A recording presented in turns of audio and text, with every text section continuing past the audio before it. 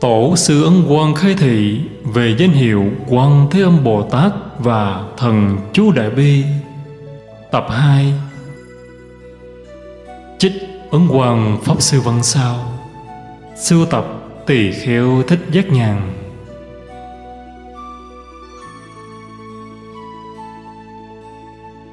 Hai la mã.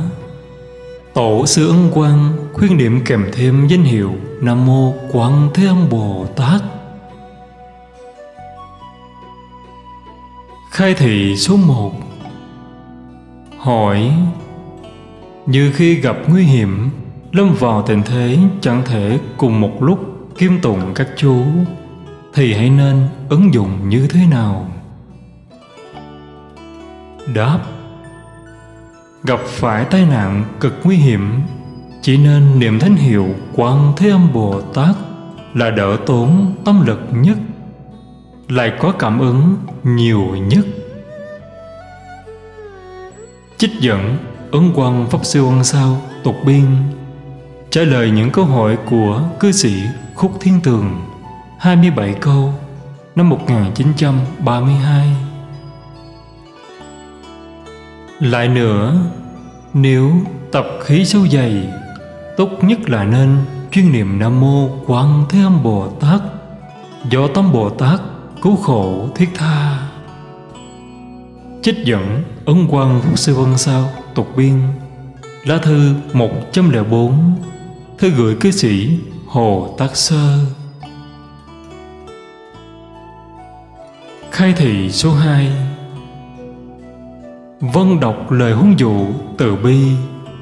Thuần là những lời tha thiết đến cùng cực, Tạo phương tiện đến cùng cực.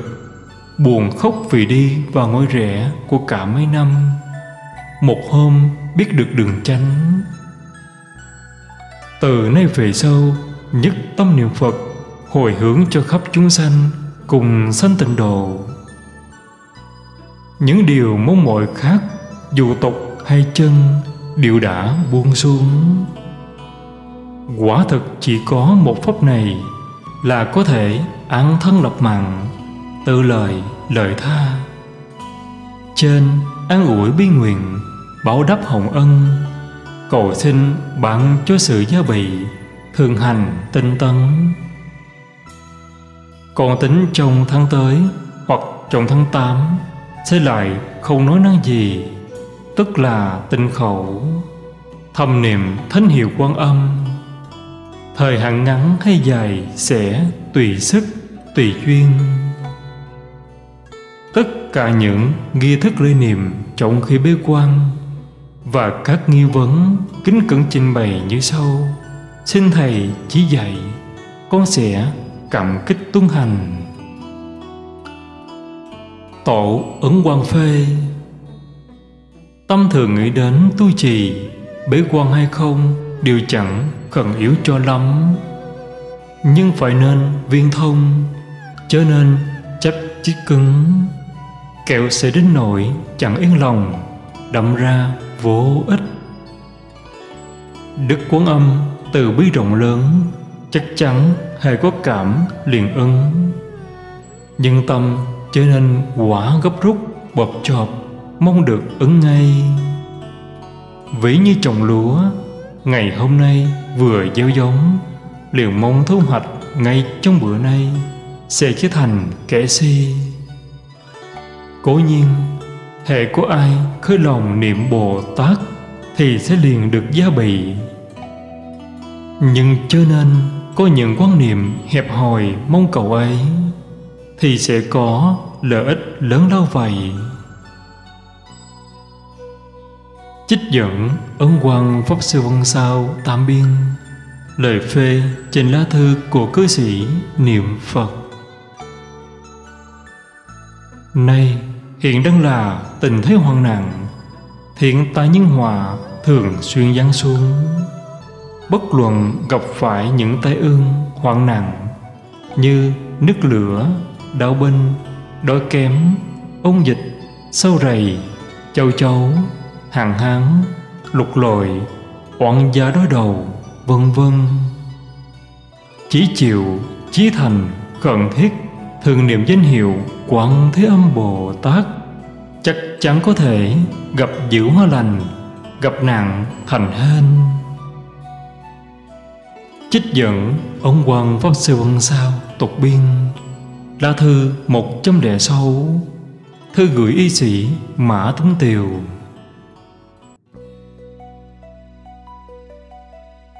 Khai thị số 3 Đã biết căn bệnh, Lại biết thuốc chữa, Chẳng chịu uống ngay, Lại còn hỏi han thuốc men, Há chẳng phải là vô sự, sanh sự. Còn như niệm Phật cũng được, Niệm quán âm cũng được, Cần gì phải lắm phen sơ đo Thừa thải như vậy? Do nỗi khổ trong mặt kiếp nặng nề Đức quán âm lòng bi sâu xa, Nên quan thường khuyên người khác Niệm kèm thêm danh hiệu Ngài Để mong mau được Ngài Từ bi chế chở. Niệm Phật cũng chẳng phải là không được cảm thông, mà niệm phật cũng không phải là chẳng thể niệm kèm danh hiệu quán âm. Chuyên niệm hay kim niệm đều được đức phật cũng từng dạy con người niệm danh hiệu quan thế âm bồ tát. Vì thế, biết là hoàn toàn chẳng trở ngại gì. Nếu niệm di đà, cầu sanh tây phương, lại niệm dực sư, cầu sanh đông phương, thì không được. Còn di đà và quán âm là cùng một sự. Những đức quán âm bị sâu nguyện nặng nên thường kiêm niệm để mong mau được cảm thông. Tất cả những thứ nghị luận thừa thải đều là chẳng cần thiết. Cổ nhân nói, tuân theo điều đã nghe, hành điều đã biết. Hai câu ấy chính là khuôn phép để tu trì chân thực vậy. Chích dẫn Ấn Hoàng Pháp Sư Văn Sao tục biên Lá thư số 142 Trả lời thư cư sĩ, Niệm Phật.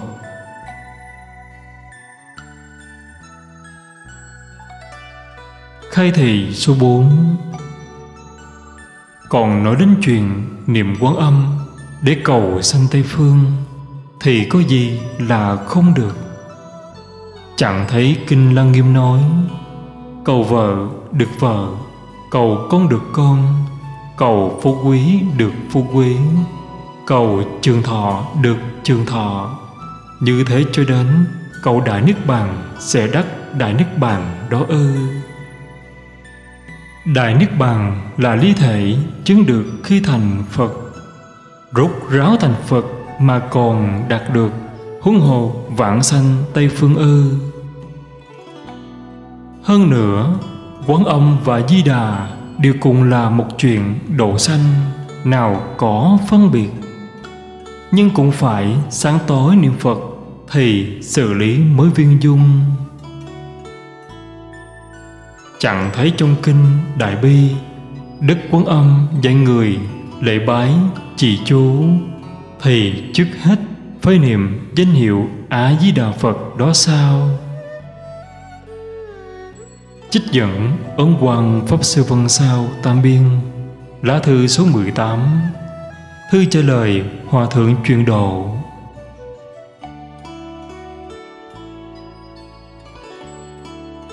Khai thị số 5 Phật Pháp Pháp nào cũng viên thông. Nếu dùng tâm trí thành thọ trì, ắt sẽ có cảm ứng, Chẳng thấy lường được. Chỉ có niệm Phật Niệm Quan âm Là dễ cảm thông nhất. Những kẻ bình dân Không ai chẳng biết đến sự Cứu khổ, cứu nạn của quán âm đại sĩ. Hãy nên bảo chí thoát ăn chí trường. Hàng ngày lấy niệm nam mô a di đà phật và niệm thánh hiệu nam mô quảng thế âm bồ tát. Ắt sẽ có cảm ứng nay đặt pháp danh cho chí thoát là thông sướng. Nghĩa là niệm thánh hiệu, ngõ hầu túc nghiệp, tiêu diệt, tâm địa, thông đạt, lời lẽ, thông suốt vậy sáng tối niệm phật bao nhiêu đó câu, niệm quán âm cũng chừng đó. Ngoài ra, thì từ sáng đến tối chuyên niệm quán âm bất luận niệm ra tiếng, niệm thầm đều phải dùng tai lắng nghe. Hãy nghe thì công đức càng lớn. Đi đứng nằm ngồi đều niệm được. Khi nằm vào lúc áo mũ không chỉnh tề, chưa rửa tay xúc miệng thì đều nên niệm thầm. Trong kinh lăng nghiêm, đức quán âm nói ta đắc phật tâm chứng nơi rút ráo. Có thể dùng chân bảo đủ mọi cách cúng dường mười phương như lai, cùng với pháp giới, lục đạo chúng sanh. Cầu vợ được vợ. Cầu vợ là cầu được người vợ hiền thiện. Cầu con được con, cầu tam muội được tam muội. Cầu trường thọ được trường thọ. Như thế cho đến cầu đại nước bằng đắc đại nước bằng từ ngữ như thế cho đến, bao gồm hết thảy những điều mong cầu. Đại niết bàn là phật quả rút ráo mà còn có thể cầu được. Huống là những chuyện nhỏ nhặt khác mà chẳng thể được ư. Hãy nên phất tâm từ lời lời tha tùy theo lòng thành của người mong cầu và sự tinh thuần của hành ấy, lớn hay nhỏ, mà được cảm ứng lớn hay nhỏ. Nếu muốn làm chuyện ác mà cầu bồ tát, thì chẳng những không được phước mà còn mắc họa lớn. Phàm hết thảy những bệnh thuốc men chẳng thể trị được. Đều dùng thuốc a già đà một vị này để chữa trị. Trích dẫn Ấn Hoàng Pháp Sư Vân Sao Tam Biên. Lá thư số 21 Thư trả lời Hòa Thượng Bỉnh Sơ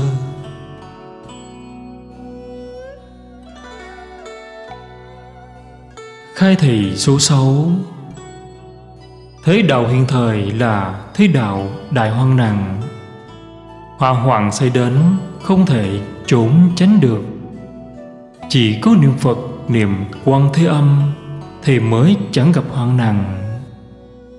dẫu bất hạnh gặp phải, thì cũng có thể gặp diệu hoa lành.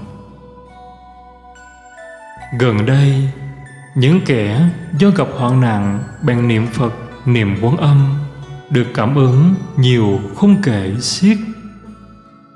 Gia đình ông còn được coi là có của ăn của đệ hãy nên dạy nam nữ lớn bé trong nhà Điều hằng ngày niệm Phật bao nhiêu đó câu, Niệm quán âm bao nhiêu đó câu, Để làm kế dự phòng. Lúc vô sự niệm Thì sẽ không có hòa hoạn. Dẫu lúc đương đầu với hoạn nạn Mà có thể chí tâm niệm Thì công đức cũng chẳng thể nghĩ bằng Trích dẫn Ấn Hoàng Pháp Sư Vân Sao Tam Biên, Lá thư số 82 Thư trả lời, cư sĩ Châu Trọng Hoa, Lá thư số 2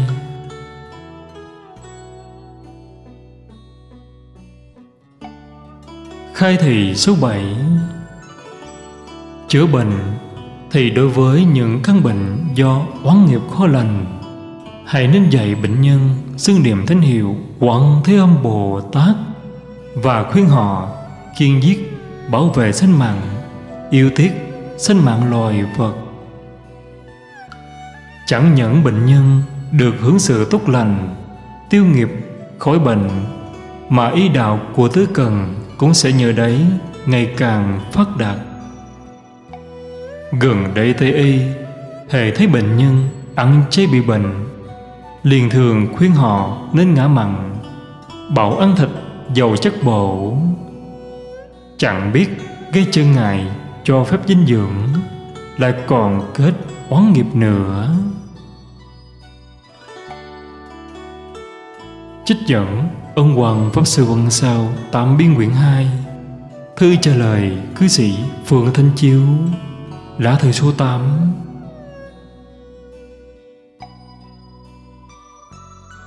Khai thị số 8 Thời cuộc hiện tại nguy hiểm vạn phần. Bất luận già trẻ, trai gái Đều nên chỉ tâm niệm Nam Mô A Di Đà Phật Và Nam Mô Quan Thế Âm Bồ Tát để dự phòng. Kiếp vận hiện thời có trốn cũng trốn không được Có đề phòng cũng chẳng thể đề phòng. Chỉ có cây vào lòng từ của Phật Chắc sẽ được che chở trong cơn nguy hiểm nhỏ. Nếu đại hiểm họa xảy đến, Có lẽ mọi người sẽ đều cùng chết sạch. Tuy người niệm Phật chẳng thể riêng một mình thoát khỏi kiếp nạn, Tránh khỏi cái chết, nhưng chết rồi sẽ đi về đâu? Mỗi người một khác. Người niệm phật sẽ nhờ vào phật lực sanh về tây phương dẫu chẳng thể sanh về tây phương, cũng sanh trong đường lành. Chọn chẳng cùng đọa chúng ác đạo như người không niệm phật, chẳng thể không biết đến ý này. Trích dẫn Ấn quang Pháp Sư Vân Sao Tam Biên, Lá thư số 95 Thư trả lời cư sĩ Lưu Dung Cát. Khai thị số chính Niệm quán âm thì không chỉ khuyên bảo tình hữu niệm mà hãy nên tuyên cáo trong thôn mình ở và những thôn lân cận. Bất luận già trẻ, trai gái đều nên ăn chay. Niệm Nam Mô Quán Thế Âm Bồ Tát. Mọi người ai nấy ở trong nhà mình Vừa làm việc vừa niệm. Thường niệm trong khi đi đứng nằm ngồi Chắc chắn chẳng bị ôn dịch Ví dụ Năm trước Các xứ bị dịch tả thật dữ dội tại vùng phụ cận của chấn Tự Tiền thuộc huyện Trường Thành, tỉnh Thiểm Tây. Cả mấy trăm người chết. Trong thôn có một đệ tử có năm sáu chục nhà. Ông ta dạy mọi người điều niệm quán âm, nên chỉ có hai kẻ xấu bị chết. Những người khác đều bình an. Cư sĩ Hà Hồng Cát ở huyện Cam Cốc tỉnh cam túc đề xứ niệm phật phàm những chỗ niệm phật tật dịch chẳng xâm nhập bờ cõi ông khuyên tình hữu niệm là biện pháp nhỏ. Dạy già trẻ, trai gái trong cả thôn đều niệm mới là biện pháp lớn. Tốt nhất là ăn chay trường. Nếu chẳng thể thì cũng nên bớt ăn mặn. Dẫu chưa thể ăn chay cũng phải niệm đặng trong lúc hung hiểm này, chỉ có niệm nam mô quán thế âm bồ tát là được cứu vớt, che chở. Những kẻ sợ chết muốn được yên vui sẽ chẳng đến nỗi vẫn chẳng nghĩ làm như vậy là đúng mà coi thường. Tụ tập đạo hữu để niệm thì nên chia thành ba ban một ban đi nhiễu niệm ra tiếng. Hai ban tịnh tọa niệm thầm.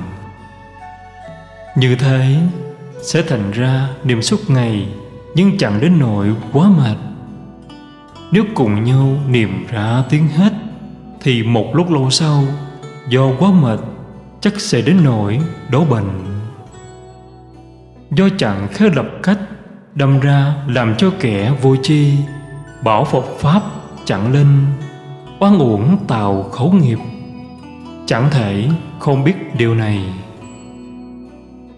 Trích dẫn Ấn Quang Pháp Sư văn Sao Tam Biên. Lá thư số 110 Thư trả lời cư sĩ Mục Tôn Tịnh. Lá thư số 2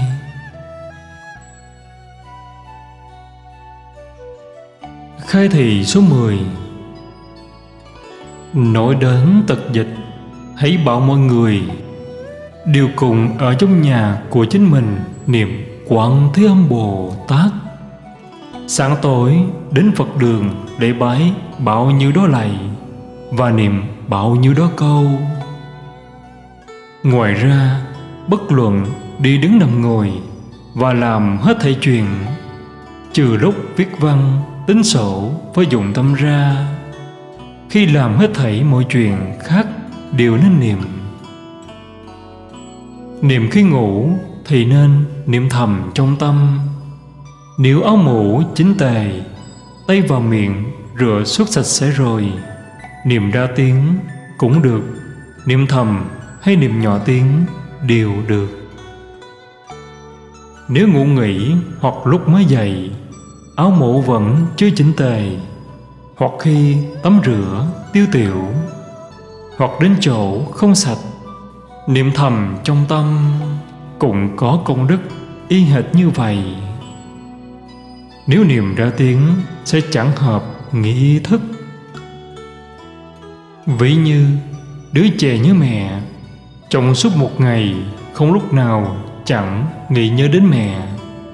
Dẫu khi ngủ nghỉ, tắm rửa, tiêu tiểu, há để cho trong tâm hoàn toàn quên mất chuyện niệm phật.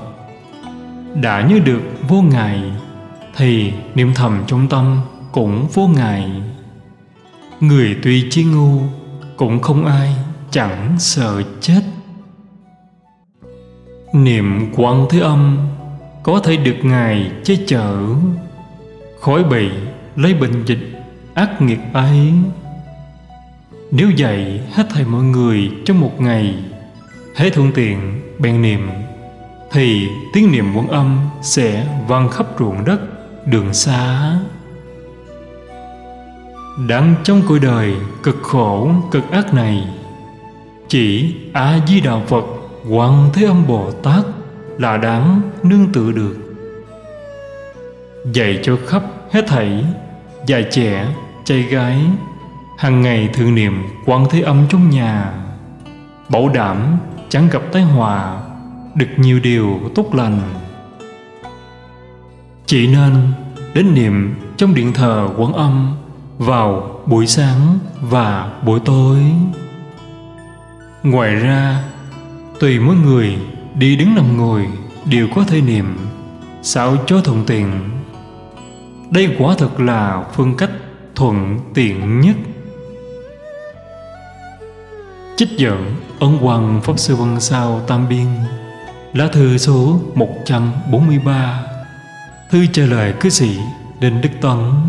Lá thư số 6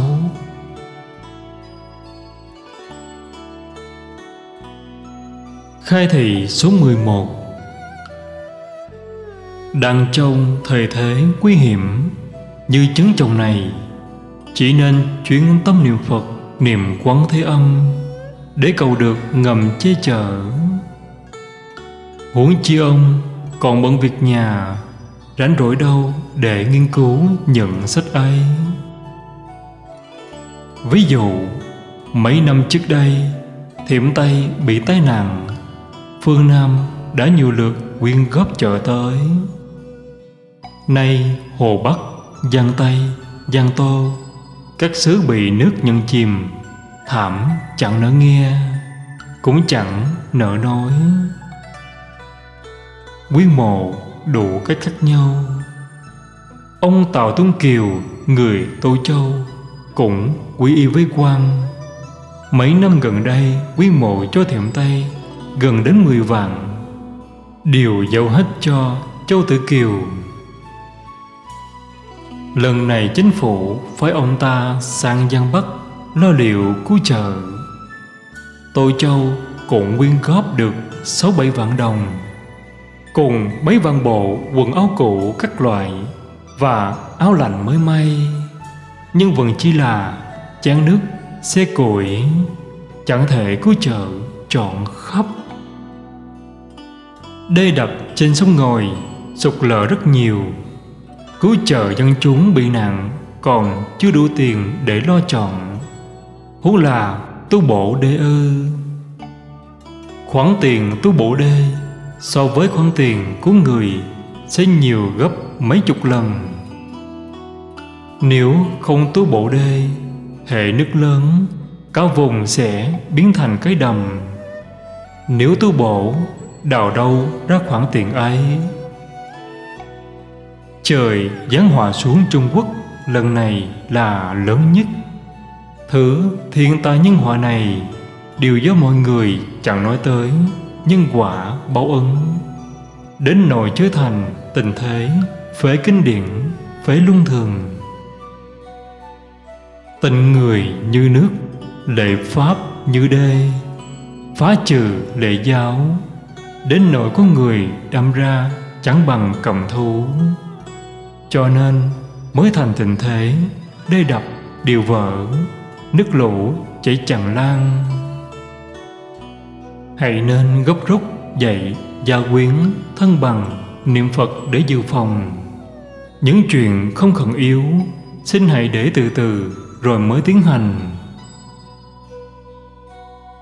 Trích dẫn Ấn Hoàng Pháp Sư Văn Sao Tam Biên, Lá thư số 144 Thư trả lời cư sĩ Ninh Đức Tân, Lá thư số 7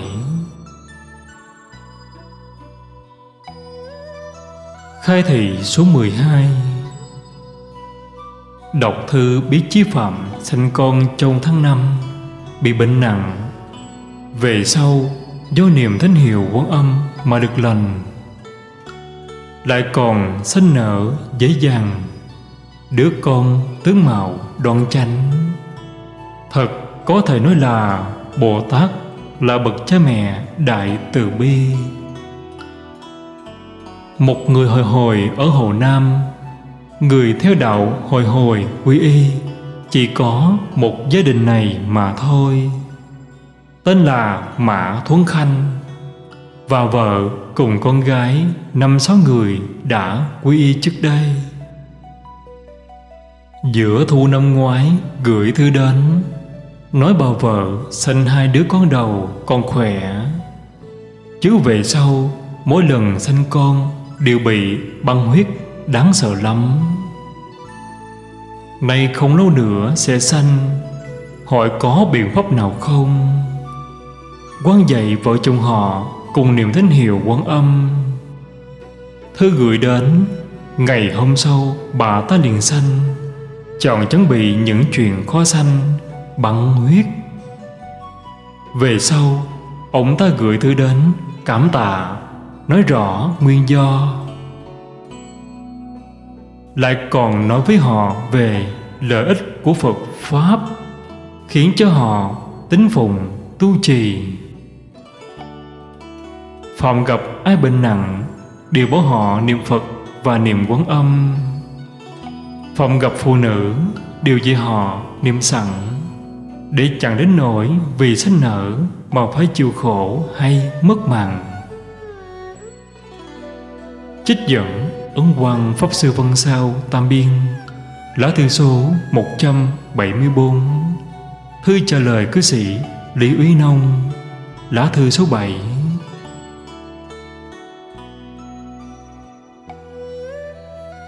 Khai thị số 13 Nay nhận được thư ông Đề ngày 21 tháng 5 Cho biết bệnh mắt vẫn chưa lành nhưng khi trời nóng bức Không chỗ nào tránh né được Lại còn bị dịch thời khí Dịch thời khí Là những bệnh dịch thường xảy ra ồ ạt vào mùa hè Như dịch tả, dịch hạch, vân vân. Đấy là do ác nghiệp đồng phận của chúng sanh chiêu cảm.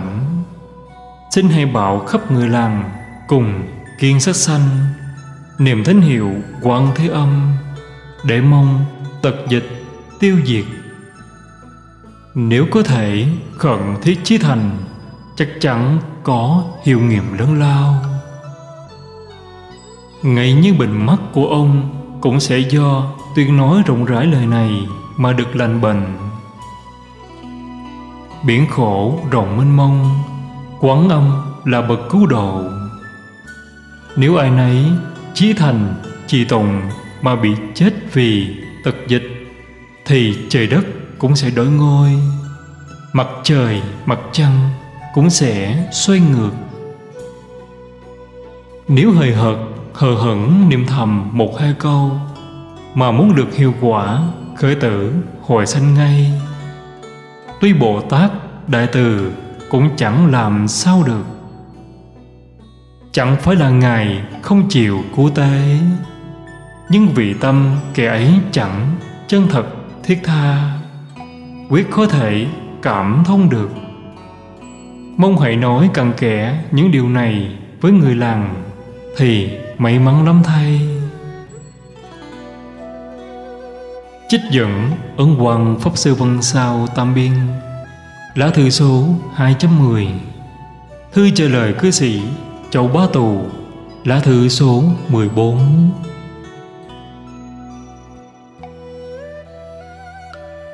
Khai thị số 14 Những loài thú dữ, rắn độc, châu chấu. Đều do tâm con người hung ác Mà chúng gây tổn thương cho con người. Nếu hướng về chúng nó, niệm Phật, Và dạy hết thảy mọi người, ai nấy đều niệm Phật, Thì chúng nó sẽ tự bỏ đi. Há nào phải là giết chúng mà có thể trừ hại cho dân hay sao? Đây chính là dần dắt người khác tạo nghiệp. Đời đời kiếp kiếp, phải chịu sắc báo. Ông học Phật, kiên giết mà thốt ra lời lẽ đáng ghét nhất ấy. Nếu chẳng sám hối ắt sẽ bị trời quở. Ví dụ số một, Nàng châu chấu. Ông Long Tự Tu làm chi huyện một huyện nọ tại Giang Bắc. Dân chúng do bị nạn châu chấu, Bèn mời quan đi xét nghiệm. Tới một chỗ, Lấy chân dậm xuống, Hơi bị lúng chân. Hỏi châu chấu ở chỗ nào? Dân chúng thưa, Nó ở ngay dưới chân. Có chỗ châu chấu đậu dày mấy tấc, Rộng mấy dặm, Dài mười mấy dặm, Vẫn chưa một cánh hễ một cánh liền bay lên, che rợp cả mặt trời.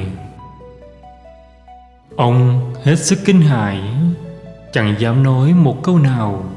Bèn lạy, trời đất cầu xin cứu mạng cho dân. Chưa đầy hai, ba tiếng đồng hồ, đột nhiên trời nổi sấm mưa to. Châu chấu bị mưa diệt sạch. Đây chính là chuyện đại cảm ứng do không thể làm cách nào bèn cầu trời diệt châu chấu vậy.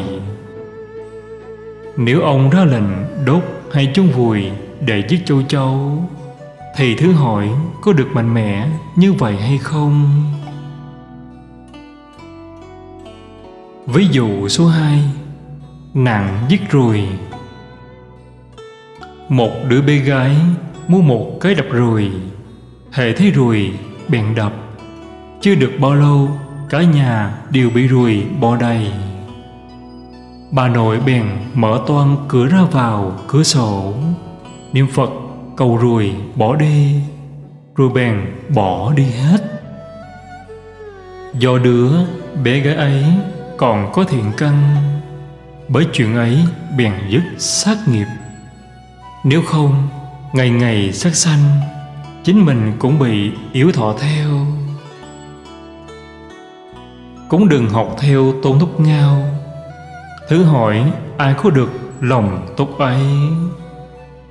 Không có tấm lòng tốt ấy, sẽ tự tạo sát nghiệp. Dạy hết thầy mọi người tạo sát nghiệp. Hơn nữa, rắn hai đầu là con vật lạ hiếm thấy. Cho nên thúc ngao giết đi rồi chôn. Mạnh thú rắn độc châu chấu không phải là những con vật cứ dứt đi là có thể ngăn ngừa được. Mọi người chỉ nên cùng phát tâm từ thiện, cùng niệm phật hiệu, ắt chúng sẽ lánh xa. Trong phẩm phổ môn đã dạy, nếu ác thú vây quanh Nanh vứt nhọn đáng sợ. Do sức niệm quán âm, Bỏ chạy khổng tâm tích Rắn độc cùng bọ cạp, Phun độc như khói lửa. Do sức niệm quấn âm, Nghe tiếng tự rút lui vậy. Trích dẫn ấn Quang Pháp Sư Vân Sao Tam Biên, Lá thư số 126 Thư trả lời cư sĩ Chương Dị Thuyên, Lá thư số 3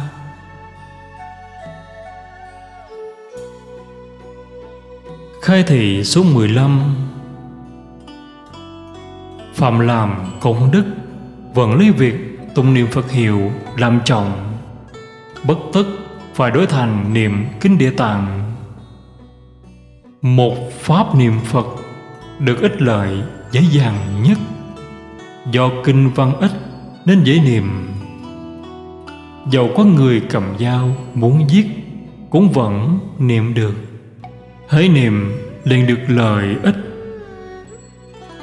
Ví dụ, Dương Giám Định ở Tô Châu có mình chào tên lính Nhật ở cửa thành. Trong tâm, niềm tín hiệu quan âm. Gã đến ấy không thích được cúi chào, Bèn vung đao chém xuống. Đây chính là oan gia đời trước Khiến cho ông ta bị toát da đầu. Đau chạm đến da đầu liền trượt ngang. Da đầu đã toạc, chảy máu rất nhiều. Nhưng xương đỉnh đầu chẳng bị tổn thương mảy may. Nếu lưỡi đau không trượt ngang, Thì đầu đã thành hai mảnh rồi. Do vậy, biết trong thời thế nguy hiểm nhất, hãy nên lấy niệm phật làm chánh. Tâm địa tạng bồ tát cứu khổ khẩn thiết nhưng so với a di đà phật tiếp dẫn lúc lâm chung, khiến được vãng sanh, thì lại càng thua xa lắm. Trích dẫn ân hoàng Pháp Sư Vân Sao Tam Biên, Lá thư số 133 Thư trả lời cư sĩ Trần Huệ Cung.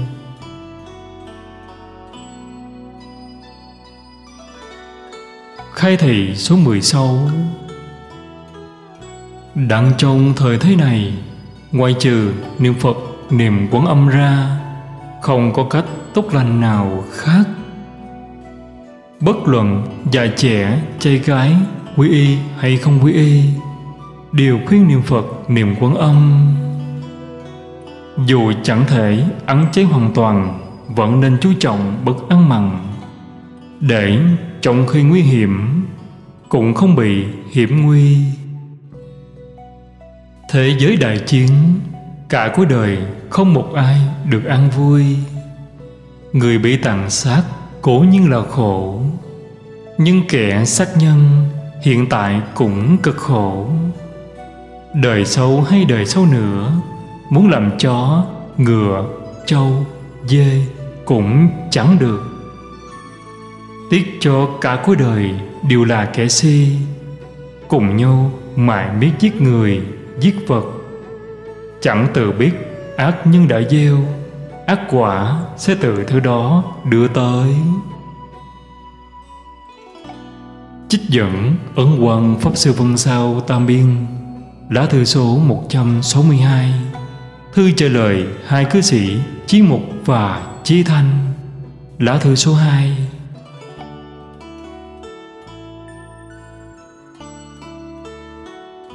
Khai thị số 17 Thời cuộc hiện tại, nguy ngập đến cùng cực.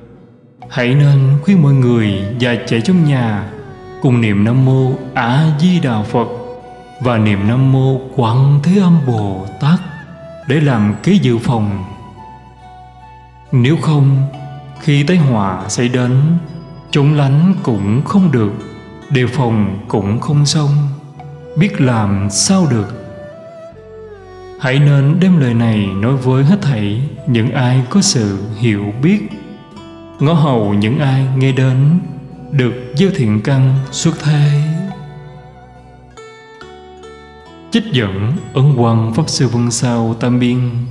Lá thư số 98 Thư trả lời cư sĩ Úc Chi Lãng.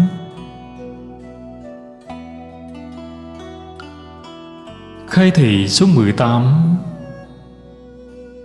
Hiện thời là lúc tình thế đại hoạn nạn Bất luận phú quý hay nghèo hèn Già trẻ, trai gái Đều nên niệm thánh hiệu Nam Mô A Di Đà Phật Và niệm Nam Mô quan Thế Âm Bồ Tát Để làm căn cứ phòng ngừa tai họa. Phạm, đạo binh, nước lửa, ôn dịch, sâu rầy hạn hán, lục lội, thổ phỉ, cương đạo và các tai họa ngoài ý muốn. Bệnh tật do oán nghiệp oán gia gặp gỡ vân vân. Nếu có thể chí thành niệm phật và niệm quán thế âm chắc chắn sẽ gặp dữ hóa lành. Dẫu là do định nghiệp tạo thành cũng có thể giảm nhẹ chẳng đến nỗi khốc liệt quá mức. Những tai họa ấy chẳng phân biệt phú quý hay nghèo hèn. Nhưng người phú quý xem ra còn khó chịu đựng hơn kẻ nghèo hèn. Do vậy, chớ nên vì ta phú quý rồi coi thường. Cũng như vì ta nghèo hèn bèn mặc kệ, chẳng lập kế đề phòng sẵn hơn nữa, pháp niệm phật đối với chuyện sống lẫn chết của con người đều có lợi ích.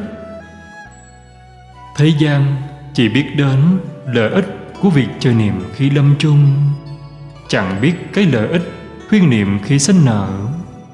Đến nỗi rất nhiều mẹ con phải chịu vô lượng khổ hoặc đến nỗi mất bằng không cách gì cứu được nữ nhân. Nếu có thể thường niệm thánh hiệu phật và quán âm từ nhỏ, thì về sau, chắc chắn chẳng bị nỗi khổ gặp tai biến trong khi sinh nở. Hoặc vừa cấn thai liền niệm, hoặc ba bốn tháng trước khi sanh, bèn niệm, hoặc đang sinh nở mới bắt đầu niệm, đều được an nhiên sinh nở nếu sanh khó, đến cùng cực và sắp mất mạng. Chiêu niệm nam mô quán thế âm bồ tát chắc chắn lập tức được an nhiên sinh nở. Đừng nói lúc ấy ló lồ bất tình nếu niệm sợ mất tội lỗi. Phải biết quán âm bồ tát, đại từ, đại bi, tầm thanh cứu khổ. Ví như thấy con cái té vào lửa nước, hầm xế gọi cha mẹ để cầu cứu. Cha mẹ quyết chẳng vì chúng nó, y phục không chỉnh tề, thân thể chẳng sạch sẽ, mà bỏ mặt không cứu. Tâm cứu chúng sanh của bồ tát sâu xa, thiết tha hơn lòng yêu thương con cái của cha mẹ trong cuộc đời. Đúng là gấp cả trăm ngàn vạn ức hằng hà xa lần do vậy, phụ nữ khi sinh nở có thể niệm rõ ràng danh hiệu của bồ tát. Chính là diệu pháp tối thượng, cực kỳ linh nghiệm, hữu hiệu vậy. Chẳng những không có tội lỗi, mà còn khiến cho cả mẹ lẫn con đều được gieo đại thiện căn. Nghĩa này, do đức phật thích ca đã dạy trong kinh dực sư chứ không phải là do bất huệ bị đặt. Phàm những ai có niềm thì không một ai chẳng được ăn nhiên sinh nở gần đây, người bị sinh khó quá nhiều. Một phần là do nghiệp chứng đời trước, một phần là do đời này chẳng biết tiết dục mà ra. Bồ tát cứu khổ, cô nhiên chẳng tính đến người ấy bị nặng do nhân như thế nào. Đều bình đẳng, cứu giúp. Lúc bình thường, niệm phật, tuy đi đứng nằm ngồi đều có thể niệm. Nhưng lúc ngủ nghỉ, chỉ nên niệm thầm trong tâm cho nên niệm ra tiếng. Nếu lúc tỉnh giấc, Áo mũ hay còn chưa chỉnh tề Tay lẫn mặt còn chưa rửa ráy xúc miệng. Và khi tắm gội, tiêu tiểu, Và đến những nơi ô uế chẳng sạch, Chỉ nên niệm thầm trong tâm, Đừng niệm ra tiếng. Trong những lúc những chỗ ấy, Công đức niệm thầm giống với công đức niệm lúc bình thường. Niệm ra tiếng chẳng hợp nghi thức. Còn lúc sinh nở, nhất định phải niệm ra tiếng đô rằng Cho nên niệm thầm trong tâm. Bởi niệm thầm, sức cảm ứng nhỏ nhoi. Lại vì lúc ấy phải dùng sức đẩy đứa con ra. Nếu niệm thầm trong tâm, Do vì bế khí sẽ có thể thành bệnh. Không riêng gì sáng phụ phải niệm rõ tiếng. Mà những người chăm sóc ở bên cạnh Cũng đều phải niệm rõ tiếng. Dẫu cho người nhà ở chỗ khác Cũng vẫn có thể niệm cho sản phụ ấy. Nếu pháp này được truyền bá, thế gian sẽ vĩnh viễn không có nỗi khổ vì sanh sản. Và nỗi khổ cả mẹ lẫn con đều chết vì sanh nở phải biết phật pháp lời khắp hết thảy. Phật là cha mẹ đại từ bi, là trời của các vị trời, là bậc thánh của chư thánh. Do tâm đại bồ đề lời khắp hết thảy chúng sanh nên được viên mãn thành tựu. Trích dẫn Ấn Quang Pháp Sư Vân Sao Tục Biên Nguyễn thượng Thư trả lời cư sĩ Châu Bá Tù.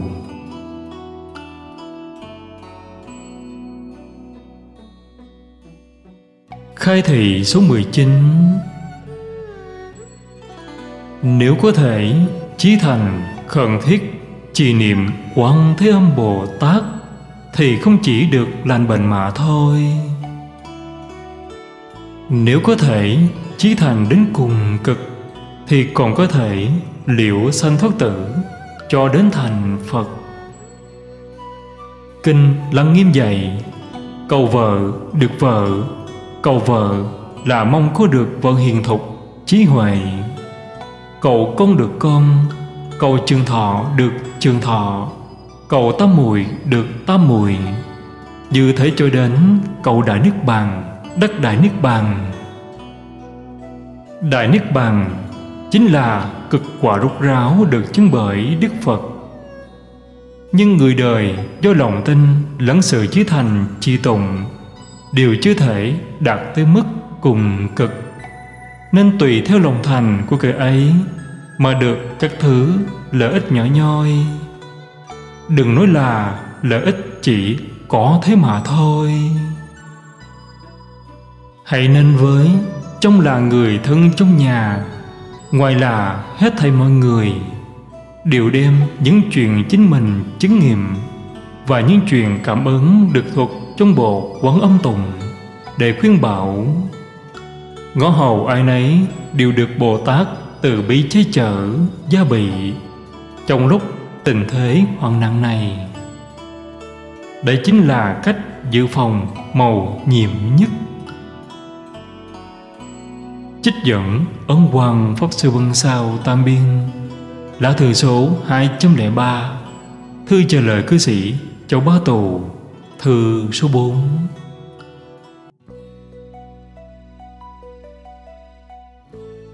Khai thị số 20 Thế đạo ngày nay chính là thế đạo hoạn nạn. Muốn ở trong cảnh hoạn nạn mà chẳng gặp hoạn nạn. Nếu chẳng, chí thành khẩn thiết trì niệm thánh hiệu quân âm, Sẽ chẳng thấy được. Huống chi ông làm trưởng ấp đặng trong lúc thổ phỉ, binh lính hoành hành. Nếu chẳng cây vào tự oai của Đức Phật, Cứ muốn dùng tài trí của chính mình để lo liệu, sẽ khó như lên trời. Nguy hiểm giữ bước trên băng. Nếu ôm tấm lòng đại tự bi chư bảo ăn lương, lỡ gặp phải những hàng hung ác như vậy, thì thế tất nhiên là phải xử trị. Nhưng phải giữ tấm lòng xót thương thì sẽ chẳng từ đến nỗi kết oán và gặp họa. Ví dụ, một đệ tử là tàu vận bằng, làm huyện trưởng huyện quảng đức, tỉnh an huy. Do chủ trì án tử hình một người bè đảng của hắn mua tính báo cừu. Trong tháng 11 ông ta trở về Thượng Hải. Đến ngày 13 tháng chạp mười gã đến nhà hỏi ông ta có nhà hay không.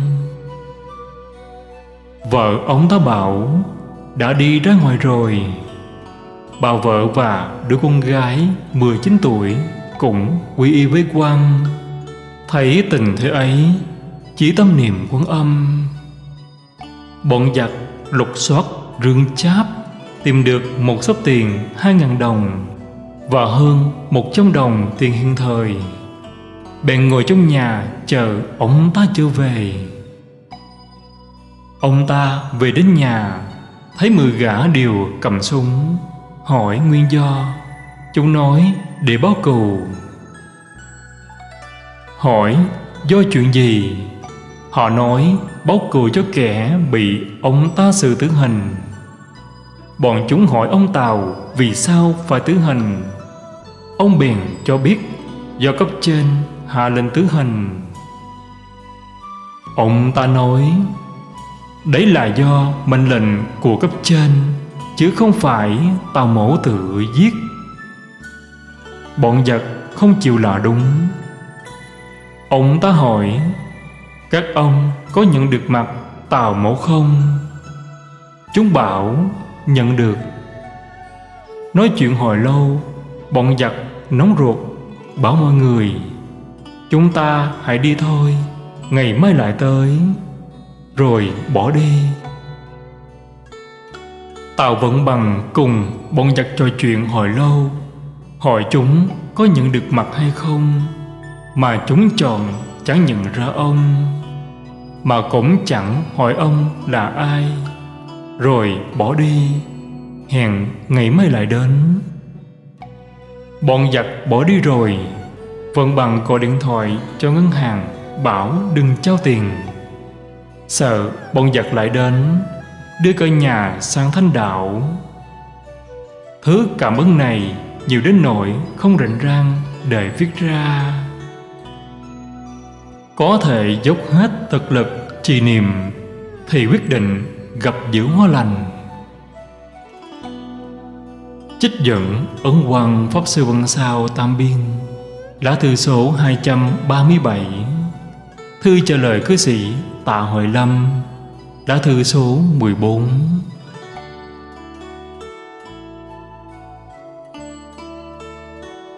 Khai thị số 21 Năm nay có một cô bé 9 tuổi Bị bệnh do oán nghiệp hơn cả năm. Thuốc tàu, thuốc tây Đều chẳng thấy công hiệu gì quan dạy cô bé niệm quán thế âm bồ tát. Uống nước đại bi và dùng nước đại bi để rửa chỗ đau. Hơn một tuần liền khỏi bệnh. Một bé trai 11 tuổi cũng giống như thế.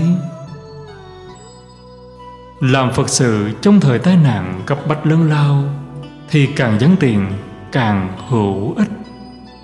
Vì thế mới nói, lành bệnh chẳng cần phải dùng nhiều thuốc. Đến nỗi phải dùng lừa lật đà đi chợ. Để cứu ngặt mà vẫn cần đến to thuốc, phải tìm các dược liệu ngoài biển cả.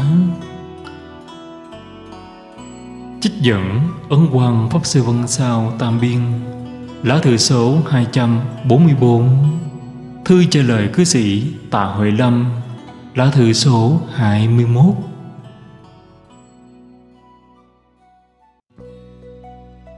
Khai thị số 22 Đặng trong lúc đại kiếp đối đầu này Chỉ dựa vào một vị tăng người Ấn Độ Mấy trăm vị hòa thượng Tùng, Lăng Nghiêm, Đại Bi Mà có thể cưng dứt được đại kiếp hay sao? Sao không phổ cáo cả thành, cả ấp, cả phủ, cả nước Chọn hết thảy mọi người hàng ngày thường chí thành niệm quán thế âm Bồ Tát. Để tiêu diệt đại kiếp này. Dùng tấm lòng khẩn thiết chí thành Để soạn một bài văn trong sáng, rõ ràng Buồn khóc, ứa lệ, khẩn khoản bảo ban. Ai nấy đều có tâm ắt mọi người sẽ cùng nhau phát khởi Xoay vần khuyên bảo lẫn nhau. Thì tiếng niệm quân âm và niệm Phật sẽ vang dội hư không? Dẫu chẳng thể diệt được đại kiếp, Thì tai ương cũng sẽ chẳng đến nỗi quá đáng. Ví dụ, Mười mấy năm trước đây, Một vị cư sĩ ở Xuyên Trung Đề xướng chỉ chú Lân Nghiêm, Để cứu quốc, dứt tai họa. Ông ta vì những người chẳng thể niệm chú Mà in chú lăng Nghiêm Thành một quyển sách nhỏ Bảo họ đeo trên thân Treo trên đầu cửa Thờ ở trong nhà Tốn kém cùng khá buồn Chẳng biết vậy Hết thầy mọi người niệm quán thế âm Sẽ chẳng cần phải tốn tiền Mà hết thảy Già trẻ, trai gái điều gieo thiện căn, Không chi lớn bằng. Ông ta gửi chương trình ấy và một quyền chú nhỏ Đến Phô Đà. Lúc ấy đã cần ngày rồi. Dẫu viết thư gửi đi ngay vẫn chẳng kịp. Quan chị than thở, cảm thương mà thôi. Chẳng gửi thư cho ông ta nữa. Đây chính là bói truyền gián tiền Ai cũng có thể làm được. Để chiên mong một vị tăng Ấn Độ, Và hơn 500 vị hòa thượng tiêu trừ đại kiếp này. Không phải là tôi nói vị tăng Ấn Độ và chứ vị hòa thượng chẳng thể tiêu trừ đại kiếp được, mà là than thở sao ông nỡ làm cho hết thảy những người đang hứng chịu tai nạn chẳng được gieo thiện căn sâu đậm do vậy, người làm chuyện lớn mà chẳng tính đến những điều nhỏ nhặt, rốt cuộc sẽ hết sức bày vẽ phô trương. Chẳng hề chú ý đến chuyện thành thật, thực hiện rộng khắp. Muốn diệt đại kiếp, sao không chọn lấy một điều đã được đề nghị trong lá thư ấy? Truyền khắp hết thảy những người cùng hàng điều niệm quảng thế âm vậy ngoài trừ những kẻ chẳng phát tâm ra dẫu là đứa trẻ lên ba cũng niệm quẩn âm được. Niệm chú Lăng Nghiêm Thì trong vạn người Chỉ một hai người niệm được mà thôi. Niệm quán âm chẳng tốn công mấy may, Cũng chẳng phải tốn kém gì. Còn niệm Lăng Nghiêm Thì chẳng tốn đến mấy ngàn đồng. Sẽ chẳng thể xong việc được. Người bề trên của dân làm chuyện gì Cũng phải lo toan đến điều này. Thì tuy là cùng làm chuyện giống nhau, mà lợi ích thực sự lại khác biệt vời vời Trích dẫn Ấn Quang Pháp Sư Văn Sao Tam Biên, Lá thư số 245 Thư trả lời cư sĩ Tạ Huệ Lâm. Lá thư số 22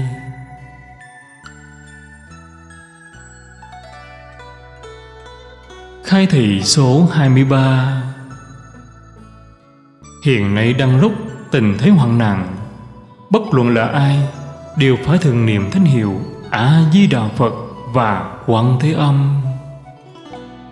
Dẫu gặp phải những nguy hiểm như nước lửa, đau binh Và bệnh tật do oán nghiệp vân vân.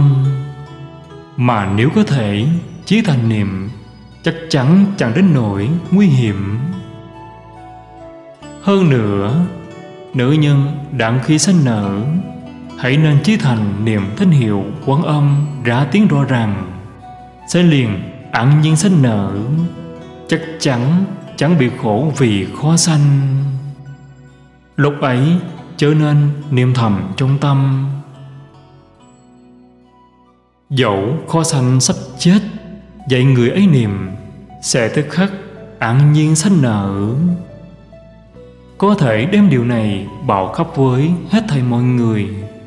Chính là cứu sẵn sáng nặng Cứu sẵn tánh mạng Mà con gái, con dâu, vân vân Của chính mình Cũng đều cũng được Phật Bồ Tát từ bi giá bị.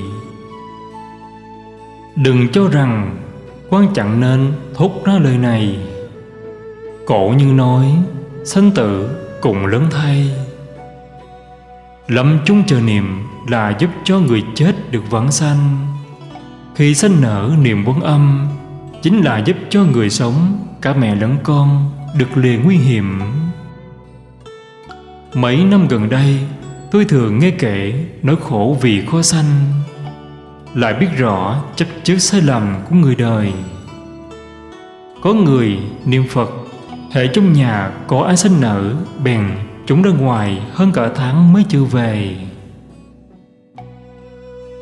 Trích dẫn ấn quan Pháp Sư Văn Sao Tam Biên, Lá thư số 269 Thư trả lời cư sĩ Phương Diệu Đình, Lá thư số 1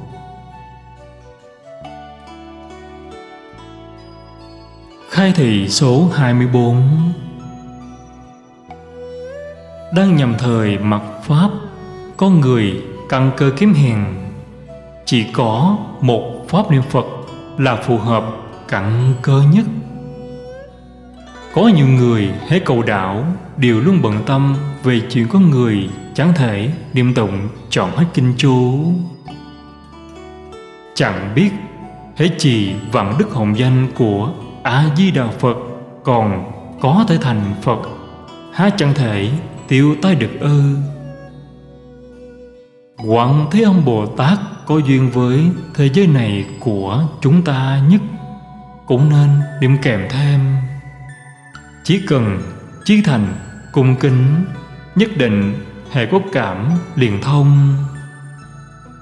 Dẫu cho tu trì lúc bình thường hay do có chuyện bèn cầu đạo?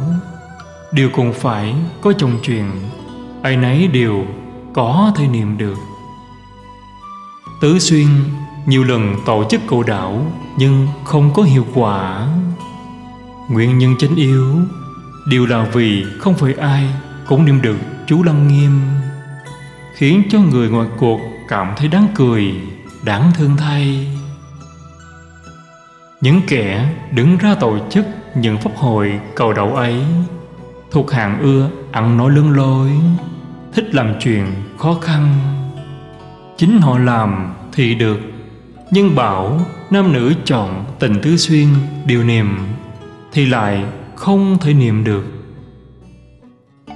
Họ chẳng biết rằng niệm phật hay niệm vấn âm, đứa trẻ lên ba cũng có thể niệm được sau này, ông tổ chức liên xạ để cầu đạo. Hãy nên lấy niệm phật, niệm vấn âm làm chánh. Thì lợi ích lớn lắm. Hơn nữa, cố nhiên nhiều liên xã thì tốt, nhưng nhiều mà chẳng lan hỗn loạn thì không nên. Đừng chú trọng lôi kéo người gia nhập liên xã cho đông, đến nỗi xen làm chẳng lan hỗn tạp thì công chẳng cự được lỗi đau Trích dẫn ấn quan Pháp Sư Văn Sao Tam Biên, Lá thư số 295 Thư trả lời cư sĩ Đức Bồi, Lá thư số 2 Trân trọng cung kính Pháp Bảo, Hết tập 2